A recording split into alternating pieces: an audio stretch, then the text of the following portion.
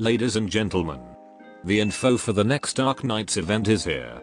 This time, we will get Maria Nearl Eventra run on March 31st.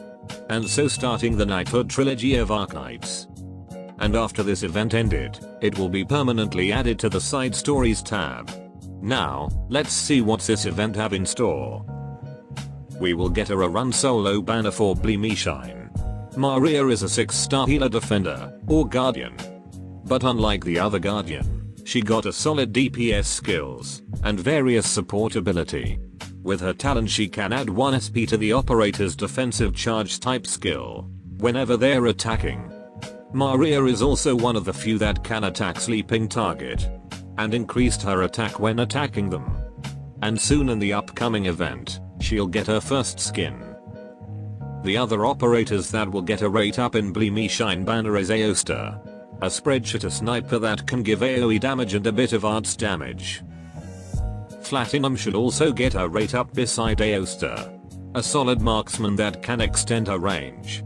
And have a higher attack because of her skill too.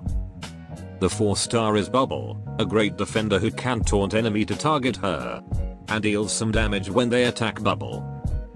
Meanwhile, we got Whislash as the free operator from this event missions.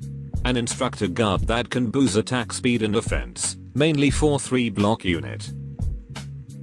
Moving to the skin section. Even though it's a rerun, but we'll get two new skins in this event. First one is for Meteor, her skin is a free skin which you can get from login event. The second one is Whislash.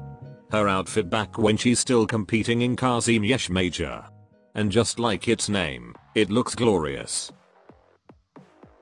Besides new skin, this skin series should also get a rerun. And you can get Shore skin from event mission. There's some decent amount of stage in the event.